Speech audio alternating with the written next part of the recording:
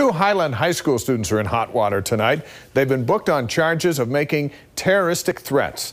News specialist Ashley Kewish is live at the high school with more on what they did. Ashley?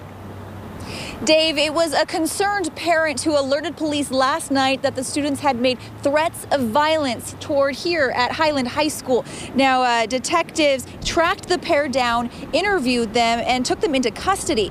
Police say the students' homes were searched by officer, and the principal was also alerted. We made sure that we went through the school and uh, we checked areas where these young men like lockers and things, uh, make sure that we're clear and the rest of the school in general is clear.